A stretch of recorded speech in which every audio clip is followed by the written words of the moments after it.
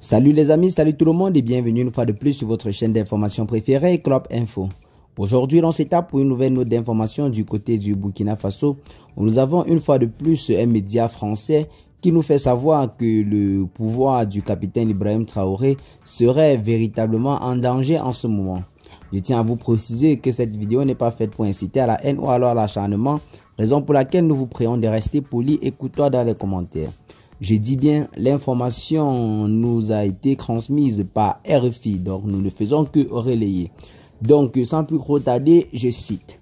D'après des informations de RFI, entre 80 et 120 soldats maliens accompagnés de supplétifs russes de la société privée Wagner ont été déployés à Ouagadougou au Burkina Faso pour renforcer la sécurité du président de la transition. Cette intervention survient dans un climat de grande instabilité après l'attaque de Mancia. À en croire le média français, le 11 juin, des djihadistes du groupe de soutien à l'islam et aux musulmans affiliés à Al-Qaïda ont attaqué Mansilla faisant ainsi plusieurs centaines de victimes, parmi lesquelles des soldats burkinabés et capturant certains d'entre eux. En dépit de la gravité de l'incident, les autorités de la transition n'ont pas encore communiqué publiquement à ce sujet. Ce sont c'est ce qui a donc généré des tensions au sein de l'armée. Selon la même source, le lendemain de l'attaque, un obus a été tiré sur le siège de la télévision nationale burkinabé sans qu'on ne sache exactement d'où provenait ce tir.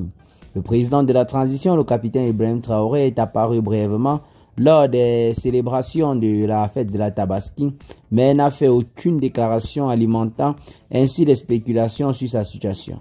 Le conseil des ministres prévu pour se tenir le mercredi 13 juin dernier a été annulé ou reporté probablement à la date de ce jeudi, bien qu'aucune confirmation officielle n'ait été fournie par la présidence. Ce report suscite des interrogations quant à l'état actuel du capitaine Ibrahim Traoré et aux défis auxquels est confronté le gouvernement.